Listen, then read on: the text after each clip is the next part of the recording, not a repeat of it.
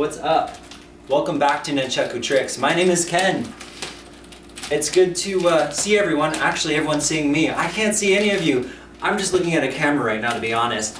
But I'm imagining it's you, whoever you are, YouTube viewer. I wanted to talk about um, a lot of the questions I've been getting lately. I want to actually cover some of the questions in today's class. And I also wanted to say, um, we'll be heading out to Colorado in about a week and a half. So if you guys are heading down to Spin Summit, I'll see you there. Uh, if not, you know, if you have any questions at all, you can always get in contact with me. Um, there's a lot of things going on right now, but I'm always happy to like watch over people's progress. I do keep in mind it's going to take some time though, because I have, it is getting so busy and I'm trying to get uh, FloTricks out there and it's it's on the verge of coming out there, but it's really hard putting together all these things on your own, like your websites and stuff. I mean, I don't want to bore you with all the details, but essentially FloTricks, because I have such a wide vision for it, it's taking me longer to get it started because you gotta like build a solid framework. And guess what? It's the same with nunchucks. When you're practicing with nunchucks too, it's, it's, it's the same thing. You, you gotta build a solid framework for, uh, for what you're doing. Otherwise, if you learn this technique here and you learn this technique there, which is what you could already do on YouTube, then what you'll have is all these techniques, but they're kind of disconnected. FloTricks is supposed to encompass everything and connect them together in a very nice and neat order so you can see how everything connects together. Now, Nunchaku Tricks is pretty good at that. I mean, I have like a beginner to advanced, and uh, right now though, we're just kind of, you know, going across uh, random techniques anymore. So once you've reached this level, it kind of goes a little bit more sporadic, but I'm, I'm pretty uh, excited because I think FloTricks is actually going to go more in depth with continuing upon some sort of line that splits apart into multiple lines and it's almost chaotic and random, but there's like kind of a crazy order to it. Um, so I just wanted to say again, thank you all. Thank you Malik Gibbs. You're the man. You just sent an awesome donation and it's actually going to help FloTricks a lot. Now, next week, uh, or the week after, it may take one to two weeks, I'm going to be making a 30 minute video. Now, maybe slightly longer than 30 minutes, but I'm making a 30 minute video on how to, how to train better.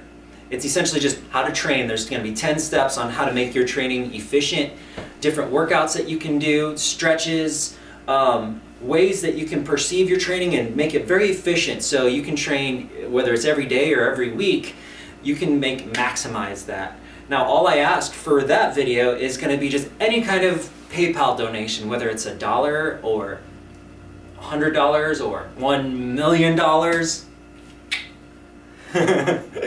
but yeah, so this video is going to be uh, available to anyone that wants to donate any kind of money to help Flow Tricks out because it's kind of taken a little bit of a rough start and it's kind of taken me a lot longer since I'm doing it on my own. And it would be really nice to be able to just to like hire it out a little bit to here and a little bit there. I think that would be really awesome. So any donations you guys want to make, I will put a link below.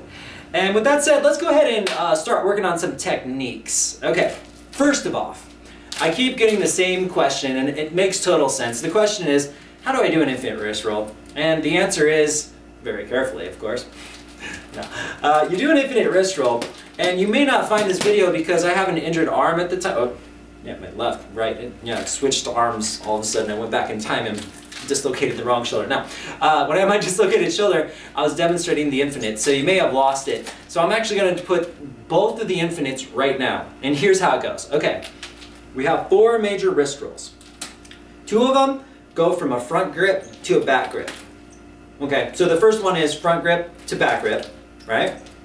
Second one is, of course, the exact opposite. You're in a back grip and you go to your front grip. Now, Ken, what's a back grip? What's a front grip? You haven't watched the beginner tutorial series. Go back. okay. Now, the last two wrist rolls is the back to back and a front to front. Right now, we've gone from front grip to back grip, and then back grip to front grip, right? Back to front, front to back. The last two is just front to front and back to back. Actually, we're gonna go to back to back first. So let me show you how it works. Say I'm in a back grip right now. Remember back grip, if I stick my thumb out, it looks kind of like a knife, and this is actually longer. It doesn't look like a knife at all, actually, but in this instance, I always think of the knife because like the killer's knife is longer on the bottom, and that is back grip, and you can like, you know, you remember this. Anyways, you're in a back grip, and all you're gonna do is, uh, if it's in your right hand, you're gonna rotate it clockwise. If it's in your left hand, it's gonna go counterclockwise, right? And what you're aiming for What you're aiming for is the side of your wrist right here, okay? So we're gonna take it step by step. First, you're gonna hold in a back grip. Second, you're gonna roll the nunchuck. Now look, I'm pointing this nunchuck straight at the camera. So if I go from this side, here's how it looks. It's holding up, pull it up, boom. I'm pointing straight out. Look, even my finger's sticking out like that. This is what you can see. Now essentially what you're trying to do, and I couldn't do this when I had a dislocated shoulder, which is great now because I can do this. What you're trying to do is you're trying to get this to flip into this part of your hand. And the only way to do that is to take this hand and to push it out and release it. Now the momentum should be just allow this to fly right into your hand right here and you close it. But we're going to go very slowly again. So here's how you can do it if you're just trying to figure out where does it go.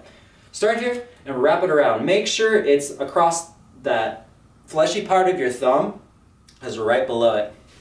Go straight across your wrist this way. See that? It's a very straight line. Straight across the thumb, very straight line down. As, it's, as the nunchuck is going around this way in slow motion, as soon as it makes connection to the back of my wrist, my hand is going to flick this up. As it's flicking up, the momentum is still going to be turning because I'm, you know, because I'm spinning it, and it should land right here. Now you're trying to get it to land in between the thumb, the ridge between the thumb and the pointer finger. As soon as it lands there, you grab it. So it goes like this. Boom, right? Do you see where this is going? Okay, so it's going across the back of my wrist right here, but as it's pulling to the forward, it's actually aiming kind of for the fleshy part of the hand right here. So, again, boom, it's going up, and the moment it touches the back of the wrist, we kind of flick this out of the way to make room and grab this one. And this will cause it to spin, so it looks like this. Bam. Again. Bam. One more time. Bam. It's not really a bam move, is it? It's more like a whoosh. yes, yes. Definitely a whoosh. There's no bamming involved with that one. More bang was like, bam, right? This is more like, whoosh. So, it's going, you, you wrap it around, pull, ow, hit the wall. Put the nunchuck straight at the camera or straight at your mirror or straight at your mortal enemy. And um, as it's coming across, flick it up and grab. Bam, that is your back-to-back, okay? Now, we're gonna go over the front to front next. Best way I can describe the front to front is you don't even need the nunchuck right now. I've kind of described this already and the other, if you could just, this is a wall, right? If you could walk up to a wall and imagine there's a screw sitting there right in the wall and you need to screw it and your thumb is a screwdriver, a flathead screwdriver. You're gonna take your thumb and you're gonna screw it in this way. This is how to do a front to front, just like that. So in your right hand, we're gonna go counterclockwise. And we're gonna take our thumb, we're gonna stick it out, and we're gonna just twist it, just like that. It's gonna go in a it's to go um, from 3 o'clock to 9 o'clock, so it's to go in a half moon arc. Here's how it's to look. This time we're in a front grip because we're going front to front, right? We're not in the back grip anymore, we're in our front grip. We're standing here like this, looking like a ninja. And then we're gonna go like this. Boom. Now we can't really stick out our thumb because we have to hold on to the nunchuck. But look at what happens. My hand pinches over, and this thumb is sticking out. And in actuality, I'm trying to like just twist it that way. I just want to make sure that you keep your thumb straight out like this. From the side, it looks like this. Boom, right? Here's the thing. I'm to use my other hand to just to grab it to show you what's to happen because if I let go right here, it's just going to fall, right? So you actually, that would be letting go way too early. What you're trying to do is get the chain to wrap around the, uh, the bottom of your wrist like that. I know, it sounds kind of crazy. This one is probably the hardest one to, to get a hold of, but trust me, you can get this, okay? The best way to get this is to go slowly and to use your hand and assist. And what I mean by assist is, once you can visualize it, it's a lot easier to do. So, use your other hand right now, and don't really spin it that hard and assist, and hold it like this.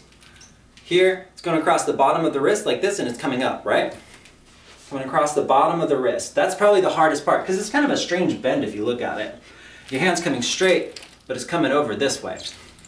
So it's up, this is going around. Now as you let go, you can only let go when the nunchuck is spinning on its way out, because if you let go over here, it may fly that direction. So you have to let go at the last possible second. Once you let go, here's where you're aiming for, okay? Because once you let go, you still may wonder, well, this, if the nunchuck's going this way, where do I go? And if I turn my hand around, it's actually going from the back of the wrist to this open L shape of your hand. So it's moving up and over and you grab. So once again, do the little screw thing, like you're screwing it in with your thumb. use your other hand and pull it over to simulate the momentum. So it's going around, it's going over. You're gonna open your hand and imagine that it's going from the back of the wrist all the way to the L part of your, of your pointer and your thumb.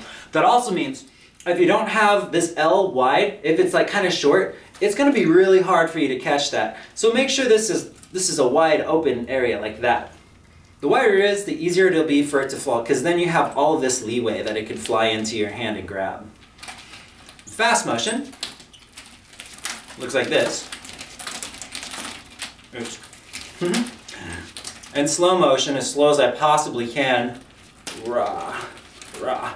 And in very slow motion with assisted, it's like this. Here, coming across here, opening up my hand, making the L to reach around and grab it and pulling it through. Again, one more time. Here, going over the L, or it's not going over the L yet. it's going across the back of the wrist and then through the L, and then you grab. I'm to give you an extra bonus one. This is a 720 wrist roll. This is an extra, watch this. Boom, boom, catch. One more time, boom, boom, catch. The 720 wrist roll is a front to front, but you're actually holding uh, slightly like around the midpoint, maybe a little bit higher, like midpoint would be here, maybe just slightly higher, or right around the midpoint, it's fine. And you're gonna do the exact same thing. You're gonna do this roll here. What's gonna happen is you're actually gonna have a lot of space. So it's gonna roll across once, and it's gonna roll across a second time. You're actually trying to get this to roll across the back of your wrist two times instead of once. Again, boom, boom, and grab. This one's gonna take a little bit of practice, but if you can do your front to fronts, you can do a 720. All right, let's do one more variation here. You guys know your rips, right? You're just taking one hand, you have an overhand, underhand grip, and then one that's in uh, underhand or underhand grip pushes over to your other hand and grab it. This is a beginner move. We have, uh, if you're not sure, just look up the uh, the rips from from the old uh, from the old video, and you'll totally see it. Now we're gonna add a little bit more. Essentially, we're gonna start moving it in lines. So I'm going to start with my right hand is in an underhand grip, like this. My left hand is in overhand grip, and I'm gonna shoot it over to the right side, okay? And all I'm gonna do is I'm gonna move my arm in a line as it moves over to the left. So it looks like this. Boom. We're still just doing a rip, essentially, but this time we're now moving our hands with it. So, underhand grip for the right, overhand grip for the left, and I'm moving my arm in a line as I, as I do the rip. Boom. Practice that. Once you're on the other side, of course, you do the exact opposite. So now my left, of course, my hands have changed, so I'm going to pull, pull it in a line this direction. Boom. Okay, so we're going to go back and forth with that. If that seems too easy, which it very well might be, then we're going to start low, we're going to pull it high. You're going to notice there may be a slightly different feel to this because now you're going to feel a little bit more pull towards your pinky side. Like that. Uh, when you're doing this way, it feels like just like a standard rip like this.